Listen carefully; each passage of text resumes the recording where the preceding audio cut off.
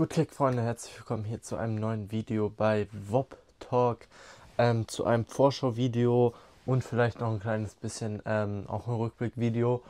Ähm, ein kleines bisschen Rückblick-Video, denn äh, zu Leverkusen gab es keinen richtigen Rückblick, ähm, einfach zeitlich bedingt durch Uni, die jetzt wieder gestartet ist, ähm, auch bei Mika äh, wurde es halt schwer, irgendwie richtig eine Zeit dafür zu finden. Ähm, deswegen einfach und dazu kam, wie ihr es im 60-Sekunden-Talk ähm, vielleicht gehört habt, ich konnte das Spiel nicht wirklich gucken. Also ähm, nur kurz nochmal darauf gesprochen, äh, man verliert damit 4 zu 3 gegen Leverkusen. Man hat eigentlich in der ersten Halbzeit gut gespielt, in der zweiten Halbzeit lässt man sich zu sehr hinten reindrängen. Ähm, auch vielleicht, wenn man 3 zu 2 gewonnen hat, äh, dachte man sich jetzt lieber, dass man mehr sich aufs Verteidigen konzentriert hat nicht so gut funktioniert. Dann fiel das 3 zu 3 direkt kurz nach der Halbzeit.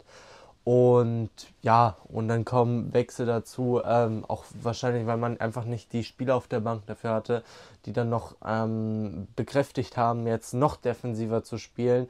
Ähm, ja, und am Ende kriegt dann Gerhard eine rote Karte, wo man letztendlich jetzt sagen kann, ähm, das hat Hasenhüttl auch gut analysiert in der Hinsicht, Gerhard kriegt ein Spiel Sperre für ähm, eine rote Karte, die als Tätigkeit bewertet wurde. Das ist so im Grunde eigentlich ein Schuldeingeständnis, dass das eine Fehlentscheidung war.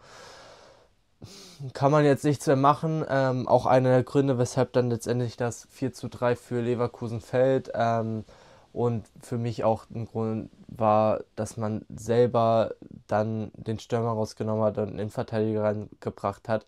Ähm, sich hinten reinzustellen ist nicht das äh, Mittel gegen Leverkusen, das hat man gesehen. In der ersten Halbzeit war es ja doch ähm, etwas mutiger, wie man gespielt hat. Hat man auch mal nach vorne versucht, was zu machen.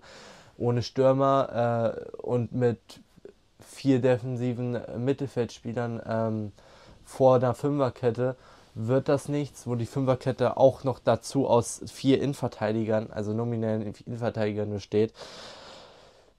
Kann man nichts mehr machen, man verliert dann am Ende 4 zu 3. Äh, ja, und jetzt wird es nicht einfacher, dann kommt man direkt zur Vorschau, nämlich man spielt gegen VfB Stuttgart letztes Jahr Vizemeister geworden, dieses Jahr ähm, wieder gut unterwegs, äh, trotz Abgängen wie Girassi und Anton. Äh, Anton Kapitän, Girassi Top-Torschütze. Schaffen sie es wieder zu überzeugen, spielen sogar gegen Dortmund, wo beide Spieler hingewechselt sind. 5 zu 1, ähm, gewinnen nach 5 zu 1 und zeigen, ja, Anton und Girassi brauchten sie nicht, um da locker mal Dortmund wegzuhauen. Und deswegen, es wird nicht unbedingt einfach, jetzt das nächste Spiel. Ähm, man spielt zumindest heim gegen Stuttgart. Und ja, man kann sagen, Wolfsburg hat gegen Bayern gut gespielt, gegen Leverkusen gut gespielt. Gegen Frankfurt würde ich das nicht sagen. Aber am Ende hat man keinen Punkt geholt. Vielleicht wird es ja alle guten Dinge, sagt man ja, sind drei. Vielleicht wird man jetzt gegen Stuttgart wieder gut spielen und dann holt man vielleicht mal die Punkte. Das wird man sehen. Auf jeden Fall kann man, wie gesagt, Wolfsburg lassen. Man hat gut gespielt äh, gegen, gegen Top-Mannschaften. Gegen Kiel hat man ja auch gut gespielt und am Ende gewonnen. Also, ich bin gespannt. Es ist. Es, es sieht ja schon gut aus, diese Saison, was man macht. Äh, es ist wieder intensiv, man spielt ein bisschen offensiver. Also man hat schon äh, drei Tore gegen Leverkusen geschossen, man hat zwei gegen Bayern geschossen. Das ist nicht schlecht. Defensiv sah das nicht so gut aus. Da kann man überlegen, ob man vielleicht was umstellt. Aber das muss am Ende dann äh, Hasenhüttel entscheiden. Nur, wie es eben schon angeteasert wurde, ähm, man hat halt gut gespielt und keine Punkte geholt. Am Ende kann man, wenn man 34 Spiele gut spielt und in 34 Spielen keinen Punkt holt, dann kannst du dich damit ähm, ja, schmücken, wir haben gut gespielt, aber du hast halt keine Punkte geholt. Am Ende musst du dann auch mal Punkte holen. Du kannst immer gut spielen, finde ich auch schön, ähm, wenn man da einen guten Kampf liefert, äh, den Favoriten in die Knie zwingt halbwegs äh, und vielleicht dann mal keine Punkte holt, aber dann muss dazu ihm kommen, dass man auch mal ähm, Punkte holt. Dann kann man von mir aus auch mal dreckig spielen, wenn man dafür dann Punkte holt. So, ich weiß gar nicht, wie oft ich jetzt Punkte geholt habe, äh, wohin gesagt habe. Schreibt das gerne in die Kommentare, wenn ihr es gezählt habt. Aber jetzt erstmal zum zur Aufstellung. Ähm, bringen wir mal kurz die Aufstellung, wie ich aufstellen würde gegen Stuttgart. Also ich würde im Tor weiter mit Grabara spielen. Äh, spricht eigentlich nichts dagegen, wenn man ehrlich ist. Äh, dazu dann gegen Stuttgart würde ich mit einer Viererkette starten. Rechts hinten würde ich, ähm, obwohl ich gerade überlege, nee, wir werden mit einer Dreierkette spielen. Vielleicht wird es auch äh, dynamisch zu einer Viererkette, das wird man dann sehen. Ähm, aber ich würde mit der Dreierkette spielen. So wie sie auch gegen Leverkusen dann äh, eingewechselt wurde. Fast. Denn ich würde einfach diesmal mit Wafro rechts starten. Ich würde im Zentrum mit Bono spielen. Und links würde ich Kulirakis starten lassen. Cesiger würde ich rausnehmen. Keinen großartigen Fehler gemacht, unbedingt gegen Leverkusen. Also nicht, dass ich wüsste. Aber ähm, man hat bei Kicker nur einmal gelesen, er war mit der Beweglichkeit von Adli komplett überfordert. Ähm, hat auch eine schlechtere Benotung als Bono bekommen. Also, äh, ja, ich würde ihn einfach rausnehmen. Ich glaube, mit Kulirakis hast du dann Top-Innenverteidiger, äh, der da locker hinspielen kann. Hat auch kaum vier Minuten oder so gespielt, hat direkt eine Vorlage gehabt. Ähm, auch wenn es nicht unbedingt so war, dass man, äh, also es war mehr geklärt und dann hat Swanberg halt Platz gehabt und hat das Tor dann eigentlich selber gemacht. Trotzdem die Vorlage geht auf Kolirakis Konto. Äh, deswegen einfach spielen lassen. Wafro, glaube ich, kann auch was machen. Ähm, hier ein paar Minuten vielleicht mein Bundesliga-Debüt gekriegt. Aber ich würde ihn jetzt einfach mal von Anfang an spielen lassen. Warum nicht? du hast ihn doch nicht ohne Grund ausgeliehen. Du hast ihn nicht ohne Grund in die Innenverteidigung geholt.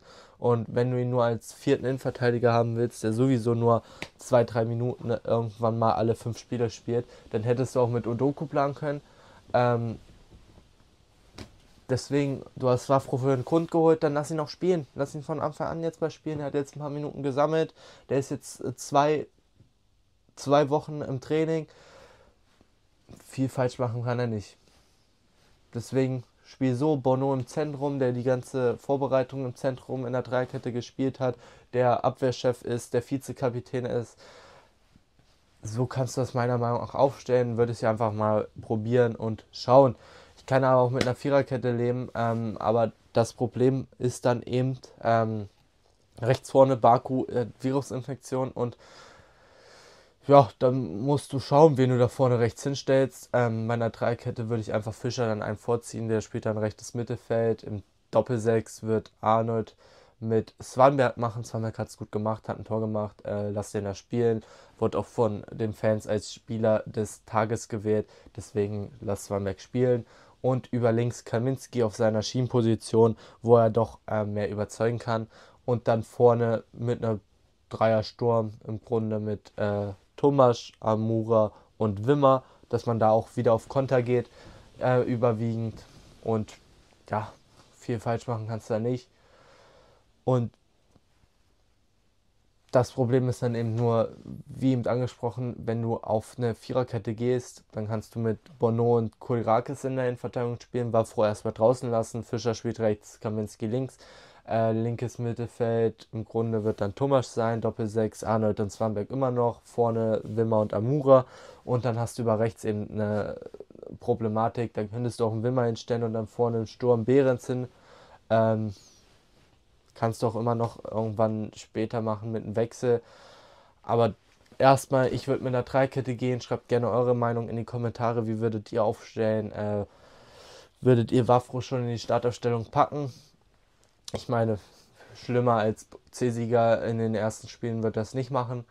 Also kein Problem. Einen Tipp wird es erstmal nicht geben, äh, weil ich glaube, Stuttgart ist doch immer noch ein hohes Kaliber und auch wenn man gut gespielt hat gegen Bayern und äh, Leverkusen, glaube ich, gegen Stuttgart wird es auch schwer, da zu punkten. Aber schreibt gerne euren Tipp in die Kommentare, wenn ihr einen habt. Ähm, schreibt eure Aufstellung in die Kommentare, wie schon gesagt. Ähm, Schreibt sonst noch gerne alles in die Kommentare, wenn euch was auf dem Herzen liegt. Und damit war es das dann mit diesem Video. Ähm, schaut gerne bei TikTok und Instagram vorbei. Und damit gut Kick und bis zum nächsten Mal.